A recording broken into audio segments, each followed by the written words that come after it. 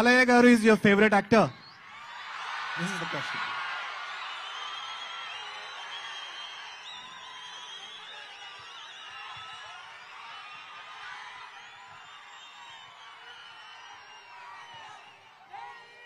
నేను వాల్టైర్ వీరే సినిమాని కూడా చూసిన. మెగాస్టార్ ఫ్యాన్ని నేను. కానీ ఎంతన్నా ముద్దల మావయ్య వైపే చూస్తా కదా. ఎండ్ ఆఫ్ ది డే మన బాలేబాబు అన్స్టాపబుల్ కదా.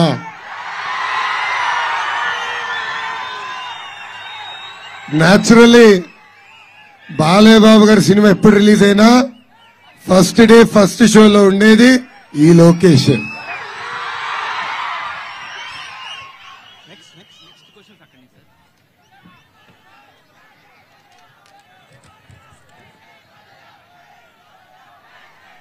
నాకు కొన్ని క్వశ్చన్స్ ఉన్నాయి. చాలా సీరియస్ క్వశ్చన్స్ అడిగారు అందరు ఈరోజు.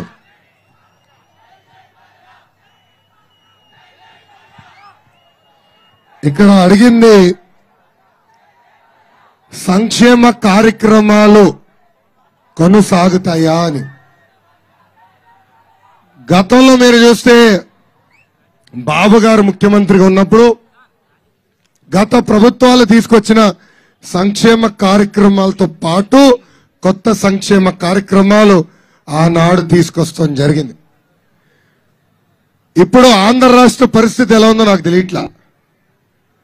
పది లక్షల కోట్ల రూపాయలు అప్పయ్యేటట్టుంది. అంటే ఇప్పుడున్న ప్రతి వ్యక్తి తలపైన రెండు లక్షల రూపాయల అప్పు పుట్టబోయే పిల్లల పైన కూడా రెండు లక్షల రూపాయలు అప్పు చేసిన వ్యక్తి ఈ జగన్ రెడ్డి. దీనివల్ల ఒక్క ప్రొడక్ట్ ఎసెట్ రాల ఒక్క పరిశ్రమ రాల ఒక్క పెట్టుబడి రాల. కానీ చివరిగా మన నెత్తి మిగిలింది అప్పు. అవునండి ఆంధ్ర రాష్ట్రానికి సంక్షేమం అవసరం. దాంట్లో ఎలాంటి సందేహం లేదు. కానీ సంక్షేమంతో పాటు అభివృద్ధి కూడా అంతే అవసరం. అభివృద్ధి సంక్షేమం రాష్ట్రానికి జోడెద్దుల బండి. ఈ రెండు కలిసికట్టుగా ముందరికెళ్తేనే మన భవిష్యత్తు సేఫ్. లేదంటే ఏకపక్షంగా ఒకటే వెళ్తే మనం చాలా ఇబ్బందులు ఎదుర్కొంటాం. ఇంకొక ప్రశ్న. మీరు వస్తే ప్రత్యేక హోదా వస్తుందా? ఆంధ్ర రాష్ట్ర విభజన ఆంధ్రులు కోరింది కాదు. ఆనాడు పెద్ద ఎత్తున మనందరం ఉద్యమించినాం. ఆనాడు పార్లమెంట్లో ఉన్న మన ఎంపీలు పోరాడారు. మన పోరాటం వల్ల ఆనాడు ప్రత్యేక హోదా అని ఒక హామీ వచ్చింది. ప్రత్యేక హోదాతో పాటు అనేక అంశాలు ఆంధ్ర రాష్ట్రానికి హామీలు ఇచ్చారు.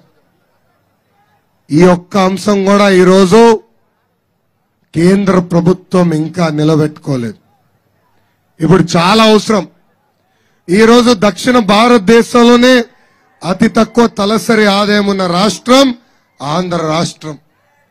మనకు కూడా చేయూత అవసరం. మనకు కూడా హ్యాండ్ హోల్డింగ్ అవసరం. అందుకే రెండు వేల పంతొమ్మిది ముందల దాదాపు రెండు సంవత్సరాలు మనం కూడా పోరాడినాం. ఫలించలేదు. మాయ మాటలు చెప్పే వ్యక్తి వచ్చాడు. నేను మిమ్మల్ని అడుగుతున్నా జగన్ రెడ్డి ఏనాడైనా గెలిచిన తర్వాత ప్రత్యేక హోదా గురించి మాట్లాడా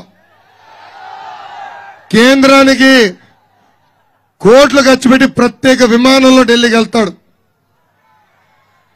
ప్రత్యేక విమానంలో వెళ్తాడు మళ్ళీ తిరిగి వస్తాడు.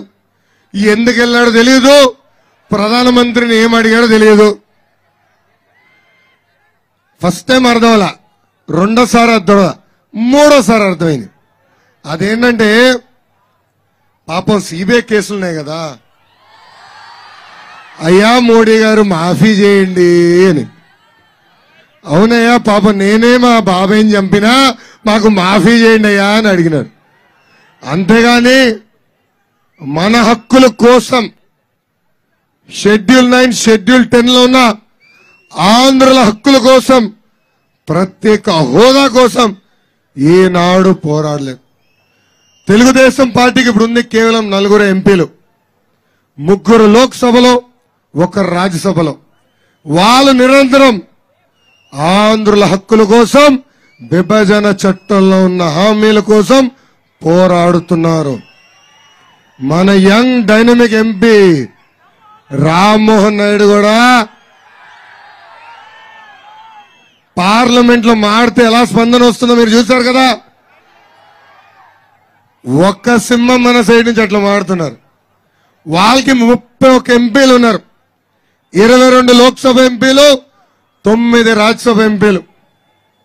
కానీ వాళ్ళు ఒక్కరు కానీ ఆంధ్ర రాష్ట్ర హక్కుల గురించి కానివ్వండి రాష్ట్ర విభజన చట్టంలో ఉన్న హామీల గురించి ఏనాడు ప్రశ్నించలేదు. ఇది న్యాయమా అని ఒక్కసారి ఇక్కడున్న యువత యువకుల్ని రాష్ట్ర వ్యాప్తంగా ఉన్న యువతని ఆలోచించమని నేను కోరుతున్నాను.